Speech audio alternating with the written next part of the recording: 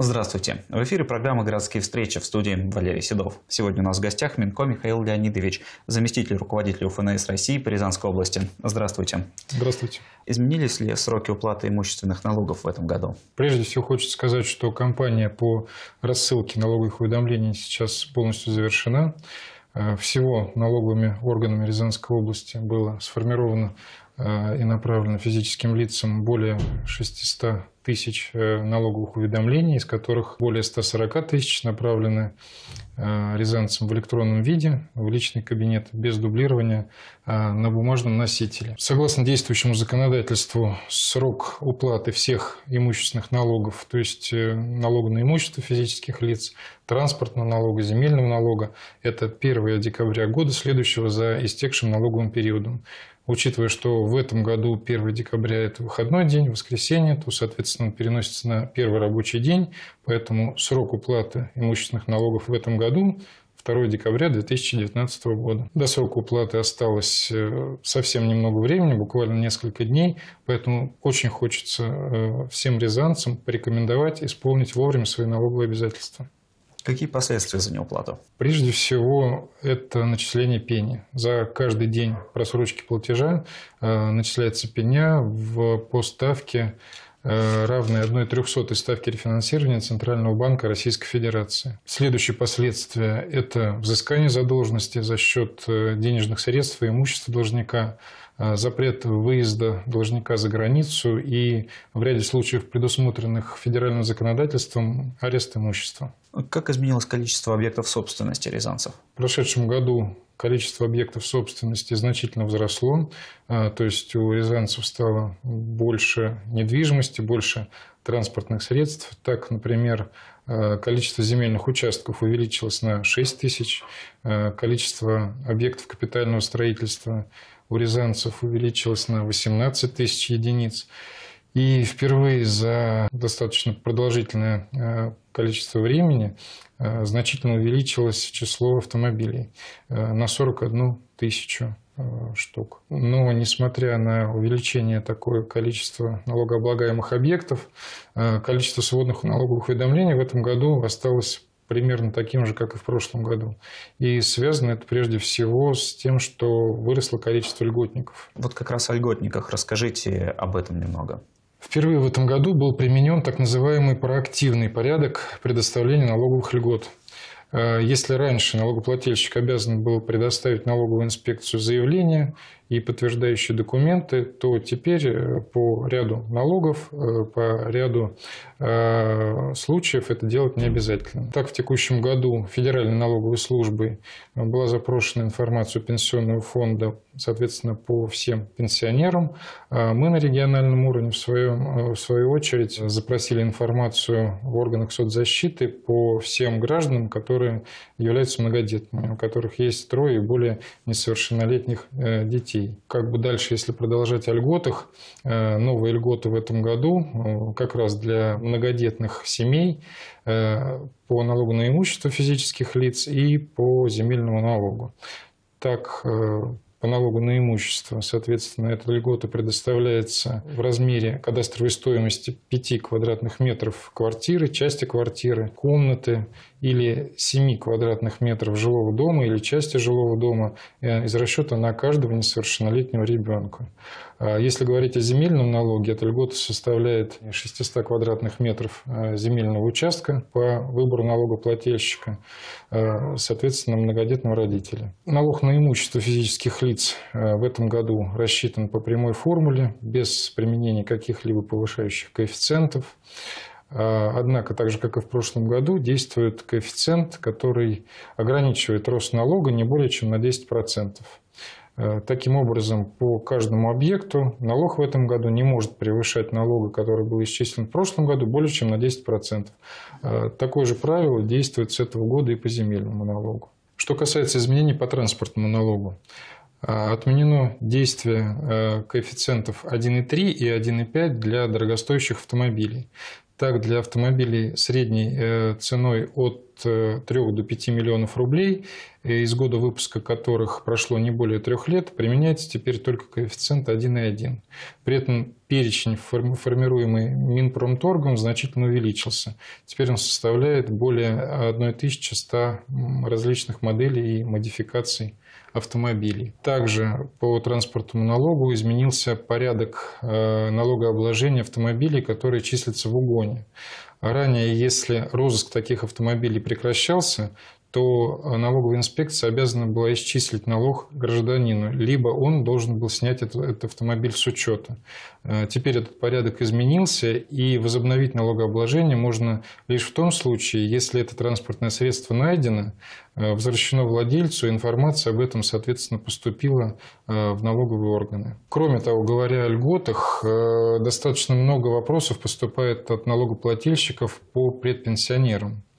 Э, что в данном случае необходимо отметить? Предпенсионерами в части налогообложения э, являются такие граждане по состоянию на 31 декабря 2018 э, года могли бы быть пенсионерами. Грубо говоря, это женщины, достигшие возраста 55 лет, и мужчины, достигшие возраста 60 лет. То есть эти лица вот, по общему правилу являются льготниками по имущественным налогам. А насколько изменились сами налоговые уведомления? Да, действительно, налоговые уведомления значительно изменились в этом году. А, количество информации, которое содержится в этих уведомлениях, значительно уменьшилось. А, прежде всего, это касается квитанций. А, теперь они не направляются налогоплательщику, и вся необходимая информация для уплаты содержится непосредственно в самом уведомлении. Кроме того, если объект, который Э, полностью освобожден от налога и сумма э, уплаты э, по которому равна нулю, он не включается в уведомление. Если раньше в уведомлении были абсолютно все объекты, которые есть у налогоплательщика, то теперь при, в том случае, если исчисленная сумма по объекту равна нулю, то, соответственно, этот объект не отображается. Какие еще изменения? Ну, необходимо отметить, что в том случае, если, соответственно, все объекты налогоплательщика льготируется, то, соответственно, налоговое уведомление просто не формируется и не направляется э, физическому лицу. Кроме того, не направляется уведомление, общая сумма в которых э, составляет менее 100 рублей, а также не направляется на бумажном носителе уведомления тому налогоплательщику, который является пользователем э, личного кабинета для физических лиц. Во всех иных случаях, если вы являетесь, если вы являлись, например, да, в 2018 году владельцем э, налогооблагаемого имущества и не получили налоговое уведомление, то вам необходимо обратиться в налоговую инспекцию. Для более оперативного решения вопросов э, по транспортному налогу необходимо обратиться в налоговую инспекцию по месту жительства физического лица, а по налогу на имущество и по земельному налогу по местонахождению э, объектов собственности. Хочу отметить, что перед сроком уплаты э, в эту последнюю неделю работа в налоговых органах э, организована по продленному графику. В будние дни все налоговые инспекции работают до 20 часов, и организована также работа в субботу э, с 10 до 15 часов. Поэтому всех, э, у кого есть вопросы, проблемы с имущественными налогами, э, просим обращаться в налоговые органы в любое удобное для вас время. Если нет квитанции, то как можно налоги оплатить? Оплатить налоги можно различными способами. Прежде всего при помощи терминалов Сбербанка – в каждом уведомлении, на каждом налоге да, есть свой штрих-код. Э, этот штрих-код просто можно поднести к специальному считывающему устройству у терминала Сбербанка. Он сейчас, они все оснащены э, этими устройствами. Э, в результате чего на экране появится информация о вашем платеже, ну и достаточно будет просто совершить оплату без ввода дополнительной информации. Кроме того, как и раньше, можно оплатить по э, идентификационному номеру. Сейчас он называется УИН, э, уникальный идентификационный номер платежа 20-значный. Также в терминалах Сбербанка. Если гражданин э, хочет оплатить налоги, не выходя из дома. Это также можно сделать, во-первых, при помощи мобильного приложения Сбербанк онлайн, также при помощи штрих-кода или идентификационного номера, либо при помощи онлайн-сервиса Федеральной налоговой службы через личный кабинет налогоплательщика или при помощи сервиса уплаты налогов и пошлин. Какие преимущества у личного кабинета? Во-первых, пользователи личного кабинета в принципе могут вообще не посещать налоговую инспекцию.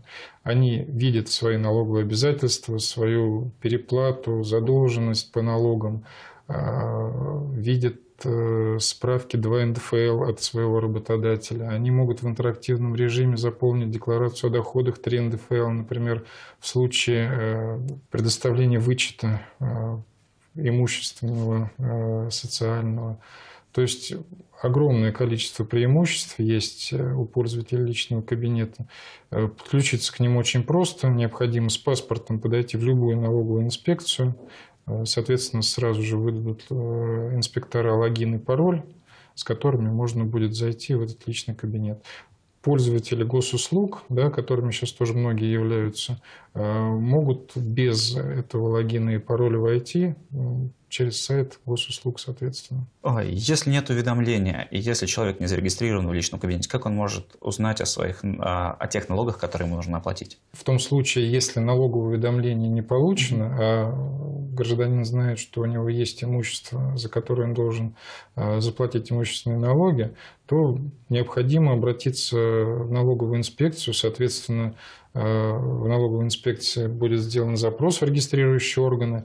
В том случае, если по какой-то причине информация об этом имуществе не поступила в налоговые органы, ну и, соответственно, этот налог будет исчислен.